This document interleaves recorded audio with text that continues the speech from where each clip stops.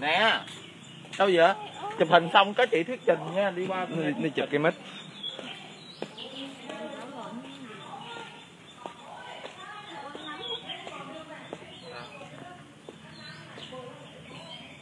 Ủa sao mặc cổ phục Sao mặc cổ phục hả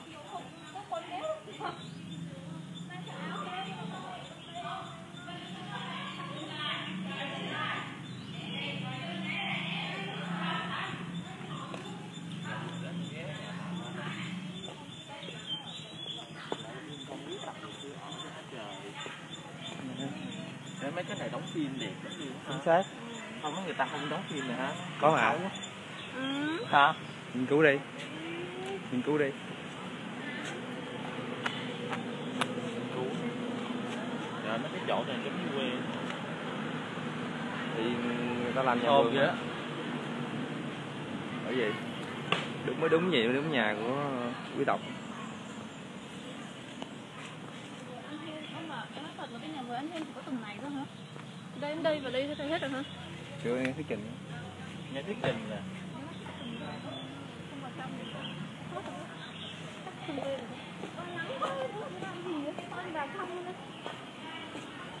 con Nó chụp mít lắm gì ta ồ cặp đặc trưng cái chụp. Ừ Lạ ha. nữa. Ê, tin nó ngồi đây nè ngồi gần hơn chục vườn sen. Cái này nè nắng nắng đổ lửa Đợi tí nha em để còn hai người. Còn hai bạn đang chụp hình Dạ, mình ngồi nha cái mặt là Dạ, cái nọng dạ, đúng rồi chị. Chị nói hay quá. Nói quá hay. Chị nói quá hay luôn.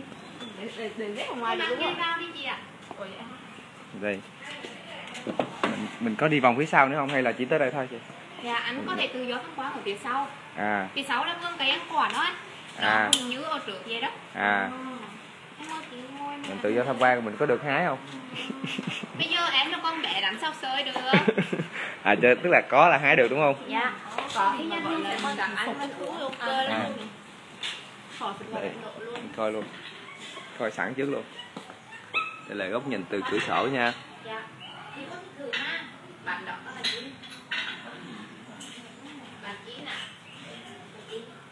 được ra từ đầu xanh Và nó dùng trong các dịp lễ thế quý kỳ của triều đình thời xưa ừ, đúng rồi ở đây cái gì cũng làm từ đậu xanh hết Có em nó làm từ xa, ăn từ xưa luôn.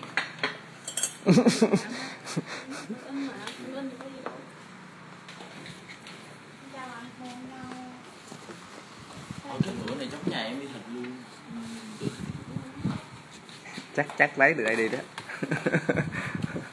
Ăn tiếp hả? hả? Ăn tiếp hả? rồi Instagram thôi. Vậy là nha, mình đóng dấu rồi Dạ.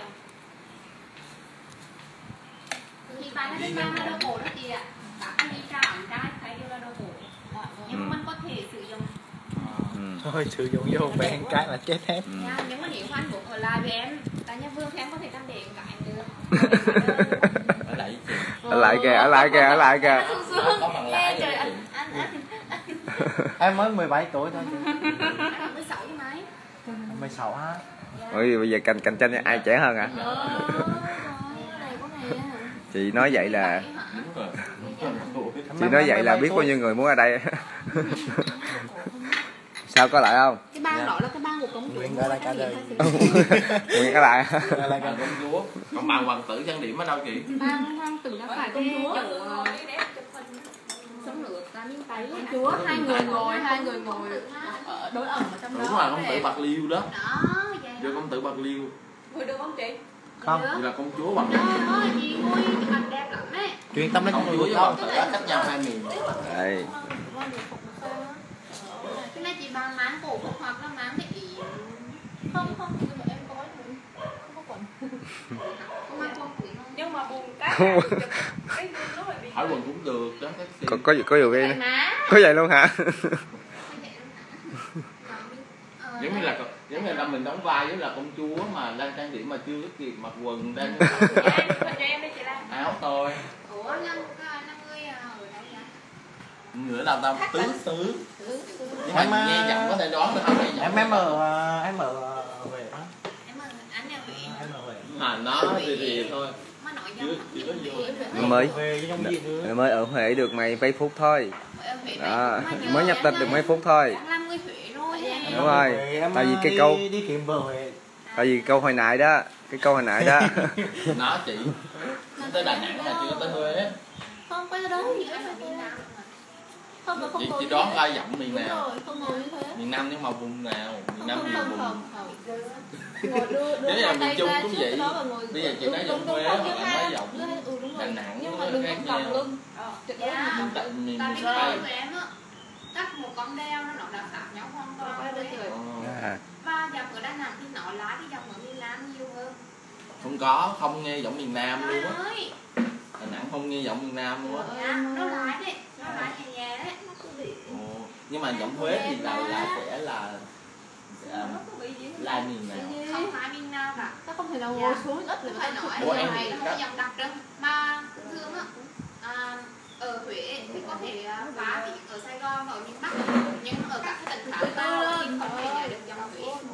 Dạ nó là một cái có anh có tìm hiểu một một một một chi tiết là tại vì anh Rồi, phim lên Quỳnh nha. Thấu á dạ. thì cái chi tiết là người ta nói là phần trong hoàng cung để nội xưa á là nói giọng khác. Nói nói ai không chụp. chụp nói cái giọng huế của người huế bây giờ.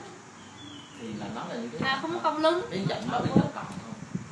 Có nghĩa là còn nếu mà em không sát vào đây như này thì thì sẽ có cái dòng gọi là tráng đao Quay ra đây không có che mặt. nó. Tức rồi đó. cái tay đó không dùng phải trên mặt. Ờ, Dạ. nhưng mà cái giọng đó bây giờ còn không? một nếu mà có mong thân quốc thích là vua thì vẫn ờ, có thể nói dòng được dòng đó. Nhưng mà thôi thể thay đổi thì họ sẽ phải thích nghi với cả Ừ. điều kiện đó và họ sẽ phải thay đổi. Nhưng mà hơi nghiêng hơn em ạ hơi nghiêng ừ, và ở đây thì có một cái ờ, rồi thứ đừng ba. có thẳng thẳng lưng lên đừng có còng là người ờ, gọi là rồi. Nốt ừm, thị nữ ở trong cung ấy. Rồi. Dạ bà đã vừa mới mất. Anh có biết bà. Bà đã có các tổng liên nhau Ờ. mà người ta có bảo lưu thôi tại người ta có cái chính sách bảo lưu cái cái giọng đó. Dạ không có nhưng mà nó khó bởi vì các cái ngôn từ của nó nó nó khó để nhớ lắm. Ờ, như là các anh có thể thấy đó có một số cái thuật ngữ trong trong triều đình và họ sẽ nói trong triều đình thôi. Rồi. còn ra ở ngoài thì họ sẽ không có nói như vậy. À, gọi là tiếng việt chuyên ờ, tiếng việt chuyên ngành trong triều đình dạ rồi bây giờ thì à, À, em nghe cái thuyết trình nè rồi người Thuyết trình. để chị xong công việc. Để- nha, cứ bình thường thôi em nói nó nhiều thì nghe Rồi. mà ok. Em muốn nói. Quay đây mới thấy mặt đẹp chứ. Trời ơi anh quay như lửa quay như lửa không? Chị xin rửa chị quay cái đó. Gì má đổi da gà quá ba. Để nó giọng nó nó nói giống mẹ nói đừng nấu cái nói anh tập lại để sau này vừa giờ Huế dạ hả? Tự do mẹ đừng nắm lít riêu á Ừ, đứa em không muốn mưa đi không được. Dạ kinh quá đây được gọi là đề án hiên. Dự án trong bình an và hiên có nghĩa là sinh nhà. Ngôi nhà này mang đến cảm giác bình an cho gia chủ. Dạ nhưng anh chị có thể nói là yếu tố phong thủy ở Huế rất là quan trọng. Khi mà lòng mạch càng bền vững á, thì hậu thế sau này sẽ càng khô thành dạ. như anh chị vừa mới bước vào thì sẽ có một cái hang mơ. Nó có ý nghĩa gọi là tạo sự thanh cao trong ngôi nhà. Và từ hang mơ tiến vào trong nhà là 34 mét chiều dài anh chị mình sẽ bắt bắt gặp một cái bức bình phong ạ. Nó có hình cuộn thư và ở giữa là chỗ tử thọ hai bên là hai chữ song hỷ ừ. dạ. Anh có thể vào cái chữ hỷ ở phía bên tay hai trái bên. Hai bên chữ song hỷ dạ. Nếu mà ngược lại khách ở ngoài vào không thể thấy được ở bên trong. Nó sẽ là một cái yếu tố rất là hay trong cái phong thủy. Ừ. của nhà nó tạo yếu tố riêng tư và che chắn các cái luồng khí độc khi vào nhà. À. Dạ hơn thế nữa là có một cái hông súng đây. Nó có ý nghĩa là nước gột rửa tất cả khi đó khi khách vào nhà mình phải được tinh tấn và sạch sẽ ừ. hơn thế nữa nó còn có chức năng là làm mát trong cái nhà. Khi mà hơi nước bốc lên kèm với đó là gió của không khí thổi vào thì sẽ làm cho ngôi nhà này mát hơn rất à. Tức là cái cái bình phong đó một cái bậc thềm này ạ cái thềm gỗ này nó cao hơn ở trong nhà. Thì đồ các anh biết như sao nó là cao như vậy. Ừ. sao nhưng mà phải như vậy tổn gỗ làm sao nhưng mà giống giống cái nhà của anh nhưng mà cái nhà của anh cũng y hệt như vậy và có ý nghĩa là à, cái người bước vào á là hai găng tay. cái tư thế chào. Ừ. dạ đúng rồi. Có nghĩa là niệm như vậy luôn hả dạ thêm cả khi khách trong nha phải cúi đầu. Và bữa qua. Nếu không cúi đầu thì sẽ để biết lại được thêm. Và cúi đầu nó Đâu? ý ẩn ý nó từ bốn trăm được giá chùa trong nha. Dạ. Có sự giao thoa văn hóa ha. Vì tụi anh phải nhìn kinh. Ừ. à, thì nếu mà có cái ý nghĩa chung như vậy ý chung như vậy mà có cái sự giao thoa văn hóa thì người miền trung với người trăm Dạ đúng rồi, vì cái nối xuất phát là từ người chấm cổ, chấm cổ, chấm tám á. Đặc biệt là ở vùng đất Quảng Nam ấy, thì cái dấu tích của người chấm ta rất là nhiều. Dạ chấm phá cổ ấy Dạ và vào trong ngôi nhà này. Là ngôi nhà ba gian hai trái Một ngôi nhà vương đặt trên ngọn ghế ừ. Và gian chính giữa là tiên Phật Hầu Linh Phật được thờ ở đằng trước Và à, hướng chủ gia linh thờ ở đằng sau. Trên cái gian chính này sẽ có hai bông thánh tiên Dạ.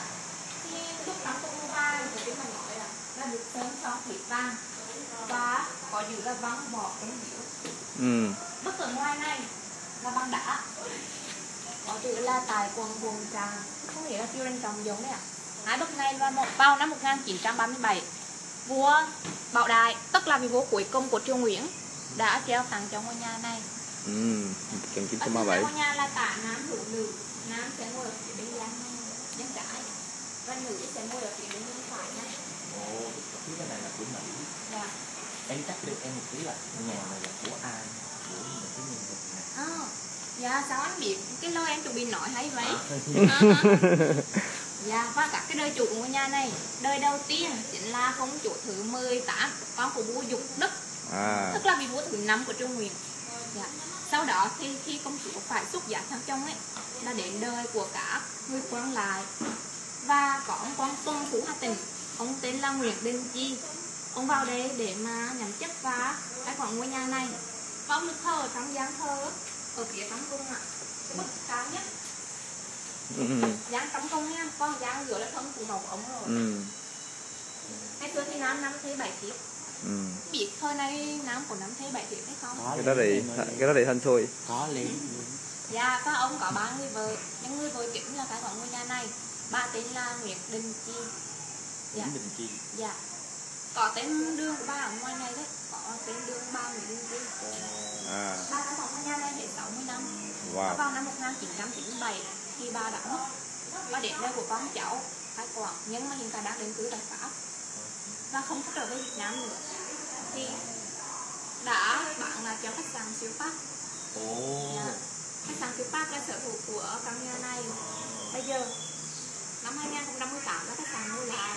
Năm 2019 là mở ồ lúc À. đó thì là một cái tư dinh thôi không có mở cửa à là 2019 mới mở đó Ờ, 2019 mở anh ạ à. Dạ. rồi em mà các anh mình theo em có dáng phải nên sẽ thấy được cái chỗ nghỉ ngơi của nữ nó sẽ như thế nào? Nữ nè nữ nè. Nữ theo coi nè. Nữ coi nè luôn ừ. Đây là ngôi nhà này vẫn còn nguyên bản và đã 145 tuổi rồi Ồ. Dạ. Cả cái cột gỗ mịt này băng gỗ mịt ạ. À vậy là mấy mấy cây mít trong vườn này đúng không không mấy cái là trồng cái là để làm luôn hả? Đâu như vậy nào được. Cả cái mịt này là thơ thơ của vua họ đã tìm ra xây nhà cho công chúa à. Cái gỗ mịt này là nó 48 tốt cột ạ. 48 cột. Dạ. Và ngày xưa người thợ mộc họ sẽ lấy một cái miếng gỗ nhỏ trong một cây gỗ may mắn nhất để mà khoét ra và mình nối một cái mảnh gỗ khác vào ở bên trong không biết ở nhà vườn quán có như vậy không? Không anh không phải nhà vườn mà nhà ở bên tường thôi. Ừ, mà nhà không có vườn. cái cái vườn gỗ như thế nào? Gọi là gỗ nhỏ. Lấy cái mảnh gỗ khác nối vào ở trong nó có cái nghĩa gọi là nối dòng nối dòi trong nhà. Ồ, Ờ. anh không có. Rồi anh là ví dụ như cột tròn này ừ. là nó rất là linh thiêng người ta theo- cái quan niệm của người ta mặc dù là theo đạo hồi nha không có thờ cúng ổ tượng nhưng mà theo cái quan niệm của người ta là đều có cái những cái ờ, vị mà giữ cái ngôi gia gia đạo của mình. Có nghĩa là người đó sẽ giữ cái việc bình an và sung túc cho gia đình. Cho nên là cột không được làm xước hư hại hay đóng đinh hay khoét. Vậy những cái mũi của mò của nó là ăn thì sao? thì cái điều đó là không có phải là mình tác động mà là nó điều tự nhiên. Dạ. thì nó không có sao còn những tác động của mình cố ý làm cho nó được vui ta sẽ không có làm ta sợ bị quở dạ. mà không có làm ăn được công ty em nghĩ sẽ có một cái nét văn hóa nó sẽ khác nhau. Dạ. ừ. với lại ở người Việt là hình như là ảnh hưởng của Trung Hoa trong việc mà phải nói giọng nói giỏi Dạ. còn bên Anh làm ngũ hệ Ừ. người ta sẽ không có quan trọng là người nam sẽ đẻ ra con tại vì theo quan niệm như vậy nè người con sinh ra đó Dạ. trong thì nó sẽ chắc chắn là con của người phụ nữ. Tại vì ngày xưa là không có anh Tôi em tính ra nếu mà đi vào nhưng đây mà là chưa chắc là con phục kết thúc ở đây ok. cho nên là việc mà người rồi là nội người đàn ông nó có con mà nói giỏi nghiên cứu cái đi điều đó cuối cùng không một trăm phần trăm cho nên là Cuối cùng chỉ tính là đẻ ra từ cái người phụ nữ đó thì nó là con người phụ nữ đó. Còn con của cái ông đó không biết chưa chắc. Cho nên là người ta sẽ không có quan niệm là nói giọng nói giỏi cái việc mà cái cột với em Dạ. Ở đây chính là bức chân dung của bà huyện Linh Chi. Bà này là nữ sinh Đông Khánh Huế thời xưa. Trong thời khi lớn lên, bà còn là hiệu trưởng của trường Đông Khánh. Bên cạnh đó, bà còn là ủy viên quốc hội nữa. Có một tấm bằng khen ngôi nhà nước đã trao tặng cho bà. Tức là cái trường đó bây giờ là trường hai bà chân đúng không Dạ, ngoài em rất vinh dự khi mà được học trong hai cái trường. à đây là nữ sinh hai bà chân nè hả Hay xưa thì là trường dạy cho nữ thôi, ban dạy um, nữ công gia chánh. Nhưng mà ngày nay thì cả nam lẫn nữ đều học. Dạ. Đây là cả cái hoa, cả cái đồ tre mà được thảm bằng sa cư và cả cái đồ cổ đây vẫn còn nguyên bản. nhưng mà gia tộc Sa là cừ hết nha. để lại cái ngôi nhà cho khách sạn Sa cừ hết nha Đây là tất cả luôn ạ. Dạ. Chứ đây có thể thấy được gọi là cái bắc ảo quân. Bắc kiểu ảo quân Rồi. Được Ừ. sơn son thịt vàng và giảm các con rồng. Vẫn con hái mắt rồng ở bên đây ạ. Ừ. Nhưng không biết là anh thích trồng rêu biết không? Đây, của bên băng đá, bên đó đồng rượu và được Oh God. bằng xanh sứ có hình rồng ạ. Băng đá những bán đấy. niên này đại của nó Cái nhà này là 140 năm, Không, cái cái này cũng 100 mấy năm rồi đấy ạ. Hơn 100. Thì đúng không? Dạ. Cái đại, cái bên đá ấy. nói chung là hầu hết ở trên đây là 100 năm cái tủ Chế này 100 năm. À. Riêng cái nhà này là 145 năm á. showroom biệt phục. Trời ơi mê quá chị ơi. Rồi em mà anh mình qua cùng qua bên cái nhà của người nhà Nam. mình sẽ thấy được một số cái bức trường kỷ đó. À. Tối khử cửa và ăn cắp tủ Dạ, Nhìn mê quá.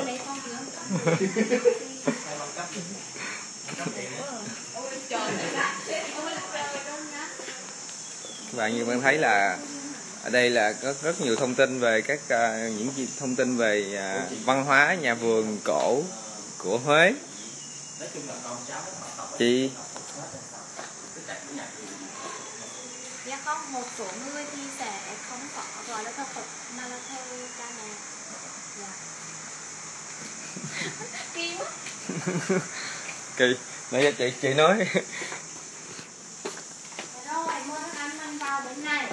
Mình sẽ thấy được một cái bức trường cái sập đây ạ. Ngày xưa thì khi mà khách nam đường xa họ sẽ được nghỉ ngơi tại đây. ồ à Rất là rộng nha. Ở đấy mà nếu anh mình ngồi đánh xí giác đấy, bốn người thì nhấc mắt đúng đấy. bốn người ngồi nè Bốn người ngồi đánh bài được mà. có bốn người đánh bài luôn vậy là Dạ, ở đây là cái bức chân dung con ông Nguyễn Minh Chi. Hôm à nay ở Pháp có mất nhưng không được thờ trong thời gian thờ ở Ừ. Có hệ thống cái tù đó, từ thơ của Vũ Khải Đình đấy. gì? Ồ, tôi phải khẳng định Dạ, cái tủ đó là trang bị cho cả cái trẻ cả cái gì ạ? Cổ. Ừ. ngoài ra thêm có thể thấy được cái bình. Cái chầu ở bên cạnh. Chim vào ở trong thì sẽ có các cái hoa tiết không có cả. Ở thời này thì các cái hoa tiết đó không có làm nữa đâu. À đây là những họa tiết mà đã thất truyền nè. Bên trong bên trong. Trong hay ngoài. Trong trong hả? Thấy gì đâu tới tôi à. Ừ. dạ và cái bên đó không phải là để trong tay đâu mà là nó có chức năng gọi là bỏ cả vào. Cho cả nó tròi nhau. Ồ Ồ, đá cá. Gọi là cái trò biểu kiện hồi xưa đấy. Chiếu, chiếu đèn chiếu đèn vô coi em có đèn đâu. Điện thoại em mở đèn. Để em một đêm đi cho anh. Anh cho em một chút. Chọi cá. Tới thôi rồi. Cái bự không ta? Cá chọi của nhật không? Ừ, để tí. Tới thôi rồi không thấy gì hết trời cái cửa sổ này nhìn mắt thường thì thấy hơi hơi. Ở đây thấy nè. Nhưng vẫn còn khá là mờ. Đây mọi nhìn thấy nha. À đây. À. Tức là đây những họa tiết nó nó, nó giả giả con giả cá. Tức là cái họa tiết này là luôn. làm giả những con cá trong hồ đúng không làm chức năng gọi là tròn việc mà. À, tức là nó, nó làm, làm giả cho cá tưởng là có nhiều cái mà cái gì? Đúng không? À, ừ. Ừ. rồi nói chung là đây là cái à, bên trong là mình sẽ cảm giác là có nhiều cá. Hai con thôi. Ba con. Không ý người ta để hai con vào Ừ. đá với nhau đây là cửa sổ nè. nhìn từ cửa sổ ra nè Có một kiểu nói điểm bên nó hay bên đại được nha dạ nó có còn có mấy con dưa đấy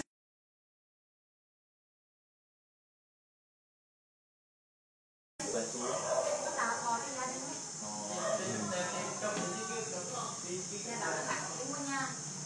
Con ở phía sau chính là cái vườn cây ăn quả vườn bảy năm mét vuông à gì bên đó nè nha bảo vệ ồ nhưng mà người ta mới xây sao hay là là xây xong đó ừ.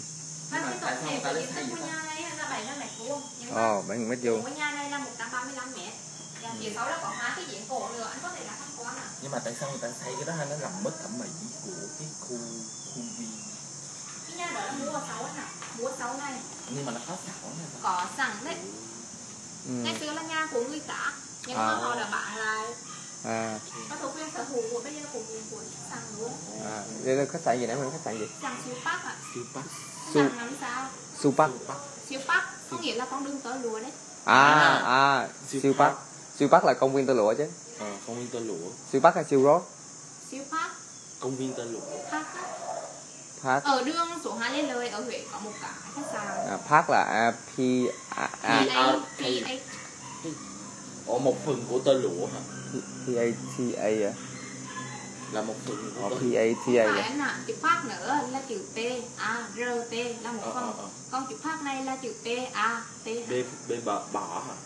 À siêu park siêu park chữ park đó À. chơi ơi nói gì? Không phải cái cái chữ con người của tụi anh tôi dùng là siêu road siêu road siêu Ừ, siêu bên đây khách sạn là gọi là À. siêu park Ừ. và có chi nhánh tổng ở Hà Nội. Đây gọi là tuyến đường tơ lụa. Ừ.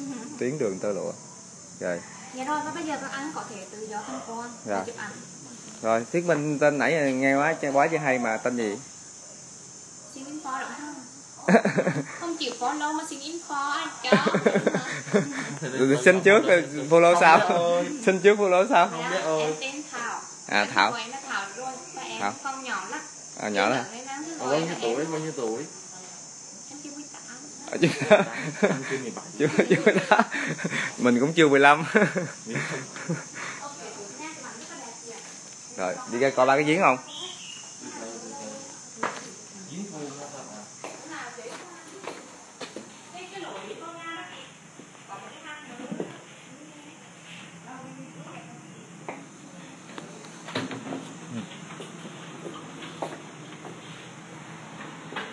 Rồi thạch có lại không? Dạ, có ở lại đây không? Dạ có chứ. Rồi, lại à, đi, rồi đi, bây giờ trường hợp này ở lại tính sao đây. Dạ, anh về trước đi, về trước đi, về trước đi. Đưa chị lại bảo được em nấu cơm hồi là nấu cơm đói sao? Hai người dẫn nhau đi tiệm ăn đi. Tiệm ăn. Đấy thằng thạch nó ở lại rồi. Thạch ở lại rồi. À em sẽ ở lại ha. Rồi ok chị. Em giao thằng bé này cho chị đó nha. Em không có cơm ăn rồi nhớ nó lại đói nó nuôi em. Chị này mấy tuổi vậy? Chị không biết chị. Chị mấy tuổi chị? Chưa 18 Chưa không biết bao nhiêu chưa 18 18 không nhìn mặt hai mấy rồi. Hai mấy nói gì buồn vậy? Nói chi buồn vậy? Hai hai phải không? Không nói thật đi hỏi thật á em hỏi 17 rưỡi thôi. Hai hai với anh nói hai hai chứ. Vậy bằng tuổi mình. À, vậy hả? Ủa 22 vậy lớn tuổi thấy hơn chưa? em em đã nói đúng tuổi Ê, lớn tuổi hơn anh nữa.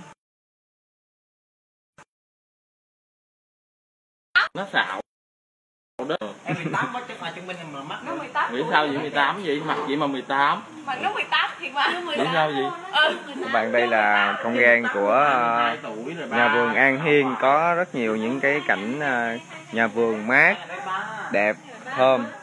Và như cái lối kiến trúc của cái khu nhà này được thiết kế có mang tính phong thủy tốt cho gia chủ cũng như là cái cái không gian sống ở xung quanh. À, và phía sau nó còn có ba cái giếng cổ nữa nói chung là đây là một cái không gian một cái tổ hợp không gian rất là tự nhiên rất là tốt cho giới ờ, gọi là giới quý tộc thời xưa.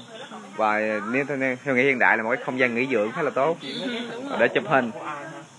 Nên là nếu các bạn có đến Huế các bạn có thể đến tham quan Thành. nhà vườn An Hiên. Một trong những à, nhà vườn điển hình của Huế theo như lời của nhà nghiên cứu Nguyễn Đắc Xuân giới thiệu. Đi. À, cảm ơn em nha. Và đến đây có thể được gặp à, bắt em lại không hay là em về? và đặc biệt là các bạn đến đây các bạn có thể được gặp với lại à, hướng dẫn viên à, chị Thảo à, áo tím. Em Em bé Thảo. bé Thảo áo tím. Thảo. bé Thảo chưa 18 áo tím. Ở tại nhà vườn An Hiên mày 22 rồi cái gì nó nó xạo người ta hoài. Rồi hẹn gặp lại các bạn trong những chương trình à, tiếp theo. sao? Chị nói đây là một cái nhà của đúng rồi của hoàng tộc Dạ. xưa. sao đi Thảo chào mọi Ờ, người đi. xong cái nhưng mà con cháu là đã đi pháp hết rồi. Chào Rồi đã 100 người đang xem ra nha. không có ai xem hết á. Em em mà livestream có người xem mà